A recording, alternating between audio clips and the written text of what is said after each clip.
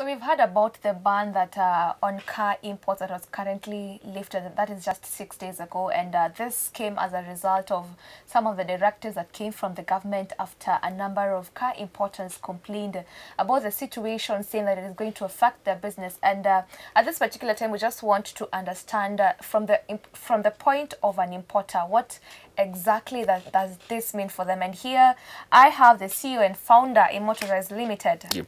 William Kamau, thank you so much for joining us. Thank you very much, Julie, for having me. How has this journey been from the moment you, you heard about the five years Yes. age reduction? Now you guys had the there's a change that has already happened. Okay. Uh, you know, that's not something the government needs to wake up one day and ban, considering it's a business that feeds more than 2.5 million Yeah. people. It's a big, it's a massive business for the people and also for the government. It's one of the biggest revenue collections for the government. And I keep telling people in business, this importation business, it's like we work for the government. We are the last people to get paid.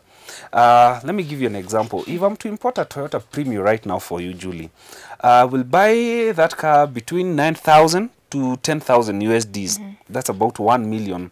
That's CIF price all, all the way to the port of Mombasa. Yeah. If uh, when I pay the duty for that vehicle plus other port charges, it comes to about 400,000 shillings. So I've worked for the government. I've brought 400,000 shillings for them. My markup is not even half of that. So, the, so I, I, I was wondering what is the government thinking because you can't just wake up, do that, and don't give people an alternative. Where do these 2.5 million people go? Mm -hmm. You're not you're not giving people an alternative or a choice to importation because right now a car is a need for every family. Yeah. If Julie today you begin to settle, one of the things you want to consider in your life is a car. It's just like a TV set. Yeah. So what was the alternative? What what were were they planning to do with these 2.5 million? And that's why you found all the hula baloos and all the pain coming from importers. Yes. So what do you think are some of the best solutions that you'd recommend the government? Because you see, this is still an ongoing discussion, and any time from now, the changes will either be effected, but now at, at least we know the ban has been suspended. Yes. And that, that happened six days ago. The changes might be effected, um, um, uh, something that might favor you instead, or also favor the government. Uh, you always give people an alternative. The reason they were doing that is that uh, lately we have been seeing assemblies coming here in Yeah. Kenya. We have Peugeot, we have VW. Those are the only cars that are being assembled here right now. And then you go to dealers like Toyota where you buy brand new vehicles. Yeah. If you're giving people tax incentives and make it easy for people to own brand new vehicles, it would make a lot of sense. But that's not the case here. Yeah. Mm. So what they need to do, I think what they need to do, give people alternatives such that if it's a brand new vehicle, give people some good incentives. So before you import a car, you're really thinking, if this 2 million can get me a brand new Yeah. vehicle, why not uh, buy a brand new vehicle? Yes. Mm. So let me ask you, as uh, the CEO and founder of Immort- Immortals Limited, um, what exactly do you specialize in? Which kind of cars do you specialize in, and how how has it been for you specifically in the industry? Okay. Uh, it's been an up and down business because I remember like three years ago there was a duty increment.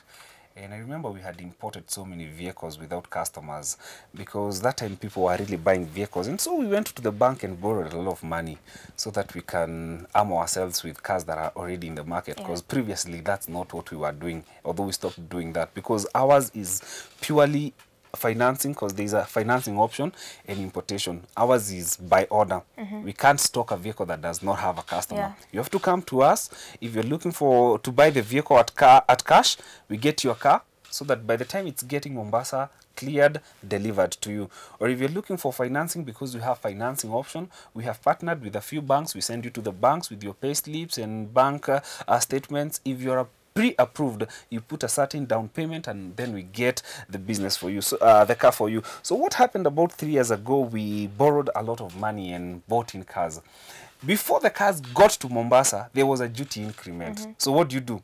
Rush back to the bank tell them um, this is what has happened. And some of the banks would look at your statements and say, we can't give you all that money for now. So that was one of the biggest and worst mistakes we ever did, uh, borrowing money to bring in vehicles without customers. So that's why today we have stuck to the business of importation by order. In case the government heads this direction, Mm. do you think there's hope that by 2021, I mean eh, 2025, Mm-hmm. Yes. we're going to have zero age limit on cars? I think there's so much that needs to be put in place because they're looking at uh, having as many assemblers and dealers in the country, people who will look at uh, East African as a larger market. Because when, Toyota, when, Peugeot is coming here, they're not just considering to sell Yeah. cars in Kenya, they are considering to sell, they're considering the larger market, which is East Africa. So if the cost of production can go down for this nation, I think so much can change. We have so many investors, we have so many dealers coming to assemble these vehicles here. We have plants that are manufacturing vehicles here. I think if we can consider uh, cost of production in this country, then so much would change in the next coming Okay. years.